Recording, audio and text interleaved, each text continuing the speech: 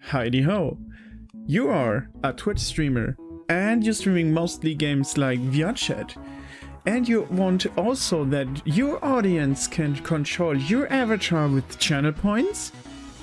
Stay tuned and I'll show you how.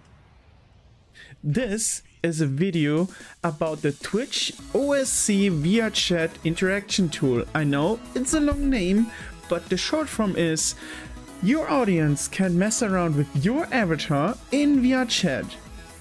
For example, they can throw things at you like a beach ball, a basketball, a football, or maybe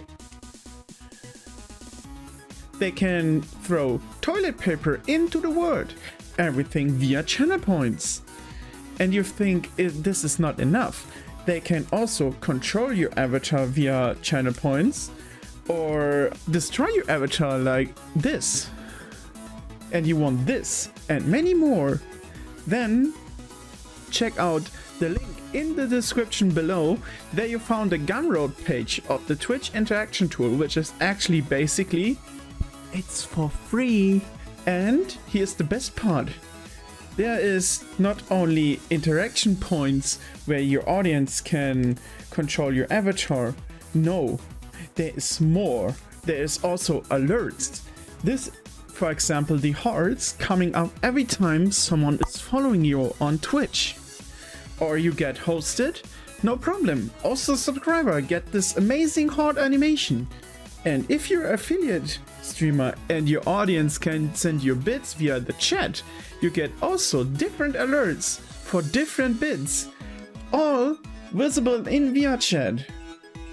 Again, if you want this and you are interested in this and many more, there's unlimited possibility as long you know Unity. And there's a lot of people that also can help you with stuff like this. For example, the creator of this tool called Fooma.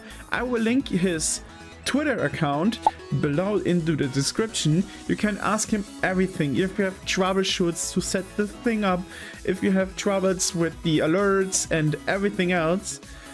Also, the download link for this amazing tool is on, is on Gumroad. Completely free. Just download it, put this thing in Unity, and you also need, it's recommended, but you don't actually need it. Notepad++ to edit a config file. You, I think you can do this with the standard editor, but I recommend you using Notepad++. It's a free software. You can Google it and download it. It's just a professional text editor. Yeah, this is what I want to show you today. It's the Twitch interaction tool by Fooma. Everything you need is in the description. Check it out and maybe leave a comment what you think about this tool. Bye bye.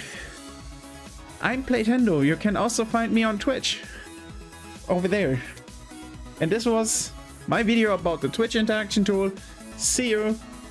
Bye. And enjoy your interaction with your viewers in the next level of VRChat.